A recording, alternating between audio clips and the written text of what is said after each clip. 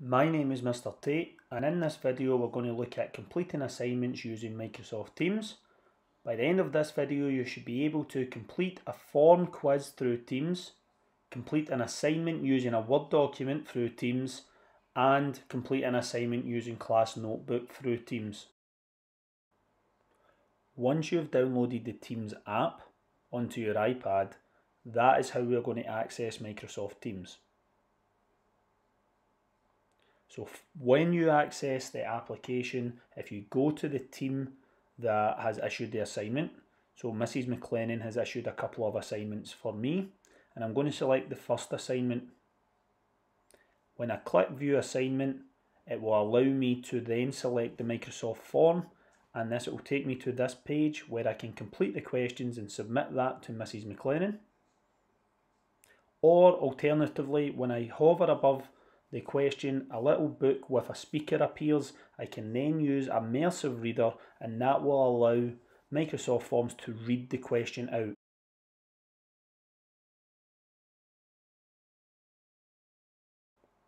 Now let's look at Word documents for assignments. So Mrs McLennan has assigned a Word document as an assignment to me. So I'm going to select that document and when you select it, it is only read only. So Mrs. McLaren has sent that out as a read only file. So what I have to do is I need to select the Word icon at the top right and it will take me to this part of the Word app. I then need to save it as a copy as you can see on the grey flash bar and this will allow me to save the document to my OneDrive. Now I'm going to save it to my OneDrive so that it's there, OneDrive Glow Scotland. And make sure it's saved to a, a folder that you can recognise. Now, once that has been done, it will then allow me to edit that Word document so I can start typing in my answers before sending back to Mrs. McLennan.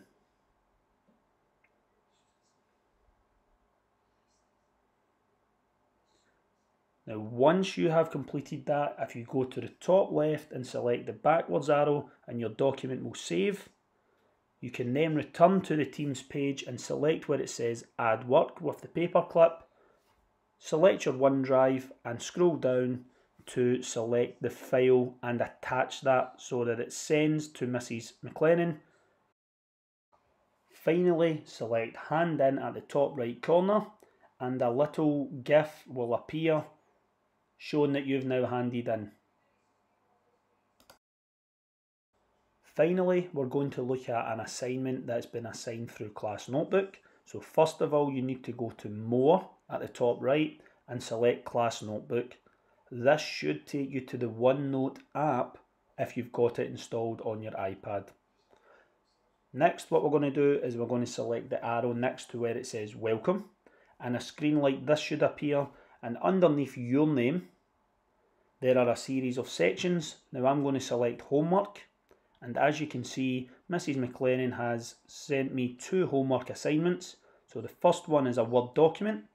So I can type anywhere on the screen, I can annotate this. And this will update the document live so that way Mrs. McLennan can see it as I'm completing it. Alternatively, with the second part of the homework, Mrs. McLennan has issued a Microsoft form as part of her class notebook and when this loads up you'll be able to see that it's a similar to the, earlier in the video and I can complete those questions and then submit them to her.